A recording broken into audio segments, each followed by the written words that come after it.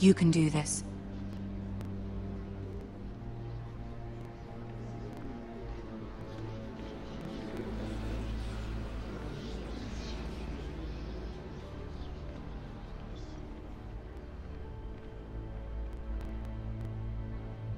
Ah, Lady Margaery. Aren't you looking lovely this evening? Lord Tyrion. Your Grace? With your permission, allow me to introduce Lady Mira of House Forrester.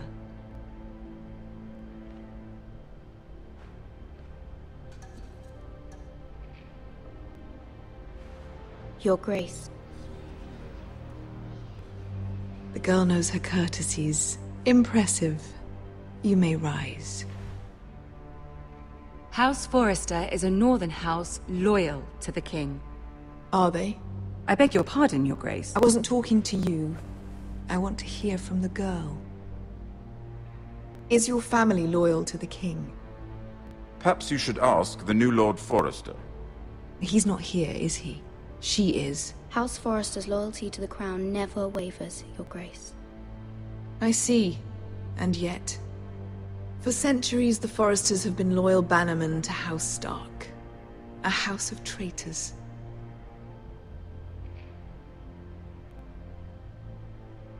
They were the Wardens of the North. We all served at the pleasure of the King. Clever girl. Perhaps too clever for her own good. The girl did say their loyalty was unwavering. She has a talent for equivocation, yet I question what she really thinks. Is your house willing to swear fealty to your new liege lord, Roose Bolton? Yes, Your Grace. Absolutely. I see. Despite the fact Roose Bolton allied with Walder Frey. If it was me, I'd find it difficult to so quickly forgive the men who killed my father. Old allegiances are not easily abandoned. But now that the war is over, we must look to rebuild and forge new alliances. There are ships and shields to be built, and Joffrey will need a steady supply of ironwood for his armies. I'm told there are others who would happily serve that purpose, but I trust we can rely on House Forrester. Forster Ironwood does seem rather unique. To our mutual benefit, Your Grace. And at the pleasure of your king. It would be a shame to see it fall into the hands of another house. I imagine you'd do almost anything to prevent that from happening, wouldn't you? Ask any Lannister, and they'd do whatever was necessary to save Casterly Rock. It would be unfortunate to see another house lay claim to what's yours. There are limits, Your Grace. Perhaps, but not if your house faces potential ruin. What would you have the girl do, Cersei? It's not as if she fought beside the Starks, wielding a battle axe for the Northern Army. It raises an interesting question, I suppose. Can we truly blame those who end up on the wrong side of the war? Our dear Margaery here was betrothed to Renly Baratheon on the false assumption that he would one day rule the Seven Kingdoms. Can we fault her for her mistake? Should she be held accountable? I won't judge her, Your Grace. I wasn't there. I didn't face her decisions. Aren't you a delightful girl? If only one could flit through life without ever holding an opinion of their own. If there's a point to this, I hope you find it quickly. Loyalty can be such a hard thing to define. This city alone is filled with all sorts of ambitious opportunists looking to reinvent themselves, pretending to be something they're not. Who knows what lurks within their hearts? You are a girl from the north, here in service to Lady Margaery. One can only assume her interests are yours. Yet loyalty to a king, that must be absolute, beyond question. And if your loyalties were to become conflicted between your king and the very person whom you serve, what would you do then? I'm sure Let she would- Let the girl answer the question. Go on. My loyalties would never conflict, Your Grace. That's a coward's answer. I will not have my time wasted by a northern girl who thinks she can play games. Who do you choose? The king, of course. Well said. I was beginning to worry you didn't have your priorities straight. She is a threat to the crown, isn't she? The most dangerous handmaiden in all of King's Landing. My sense is this girl will say almost anything to get what she wants. Which is not very encouraging. I'd like a word with you, if I may. Of course, Your Grace.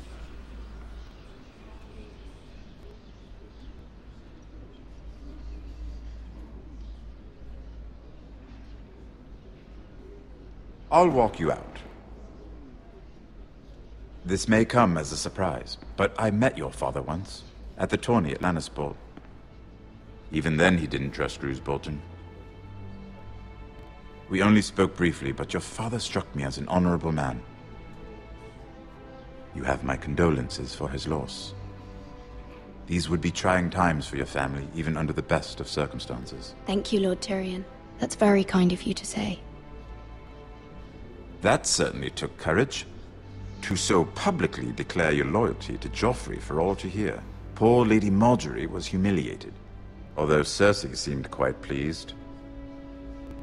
It was quite the first impression. I, of course, found it all highly entertaining.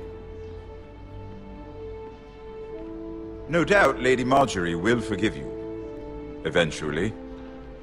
My sister and I have our differences. She takes great pleasure in her little charades. I take mine in thwarting them. We must find our amusements where we can. She threatened to give your ironwood to another house. It is the Master of Coin who decides such matters. The Crown needs boats. Boats need wood, and I speak for the Crown in this regard. Not her. What are you suggesting?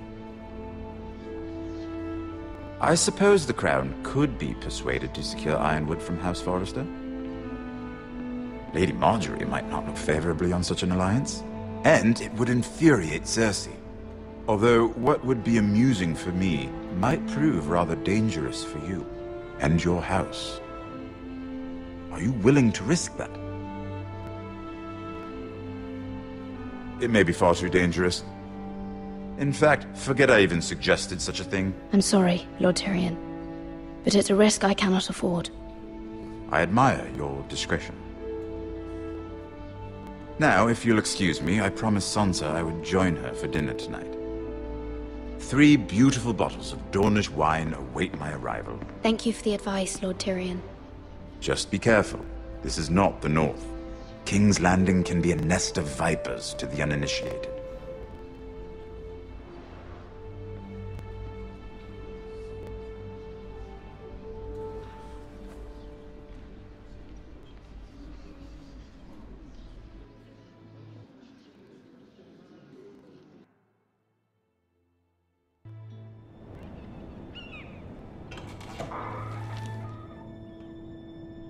Mira, I was worried. How was it? Cersei has a way of looking at you as though you're nothing.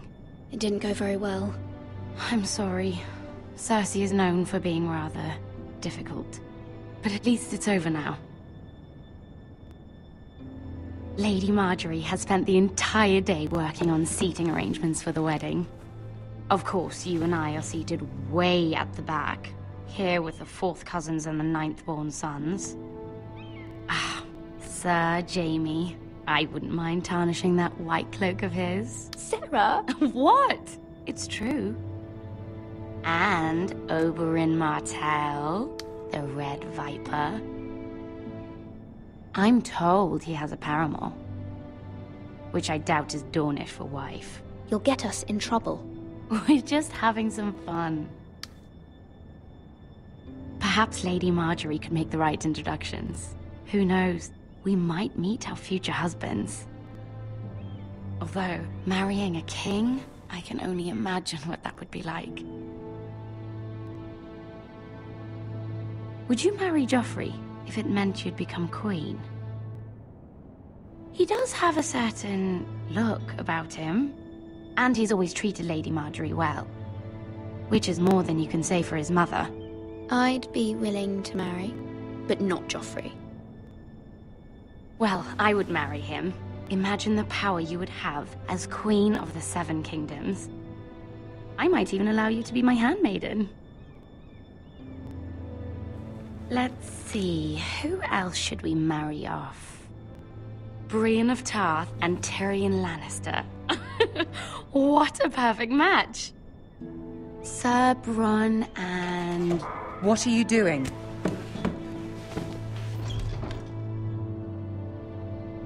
Well? I'm sorry, my lady. As am I. We shouldn't have been messing about. This is not a game. It's a battle plan. Allies and enemies can be made with every move. Yet they say it is men who are powerful. The Queen was pleased by your display, Mira. I'm just glad it's over. King's Landing can be exhausting sometimes. There's always someone to please or some perceived slight to smooth over. I fear it will only get worse when I am queen. Once they know your true heart, the lords and ladies will have no choice but to love you. Do you agree? Once you are queen, the lords and ladies will do their best to please you. You learn very quickly. You were brave agreeing to obey the Boltons. That cannot have been easy. I know you must fear what Lord Bolton might do to your family. I do appreciate your willingness to appease her, as difficult as it may have been. Thank you, my lady. There's been something on my mind. Something important.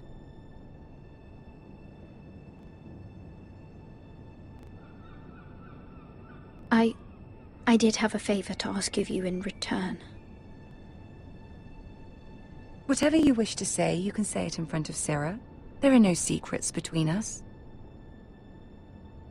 It's about my family. I trust her.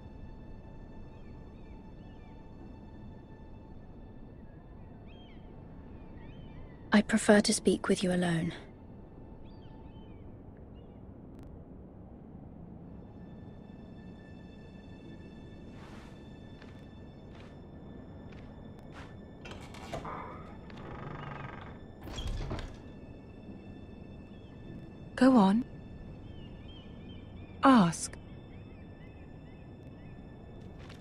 Forgive me, my lady. I wouldn't otherwise ask this of you, but my mother insisted. It's about my family. Ramsay Snow. What would you have me do? My mother fears our family will suffer if Ramsay is left to do as he likes. She thought, if a raven could be sent to the Boltons to let them know House Forrester has the protection of the crown, I know it's a lot to ask of you, and I wouldn't otherwise, but she insisted. That is no small request, especially now. I know, my lady, and I wouldn't ask this of you otherwise. But my mother has left me no choice. She insisted. Joffrey knows only too well your family fought for the Starks, and now you would have me ask him to intervene. Is the situation that dire? Joffrey will not look favorably on such a request. It is that dire, my lady. I fear for my family's safety. I don't know, Mira. If Cersei were to find out...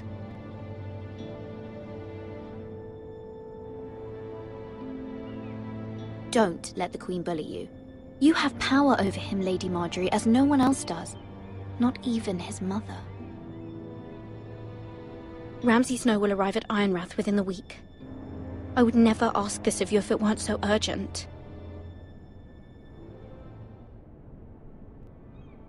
Very well. I'll make your request, but I cannot promise anything. Thank you, my lady. I will send a raven to my family at once.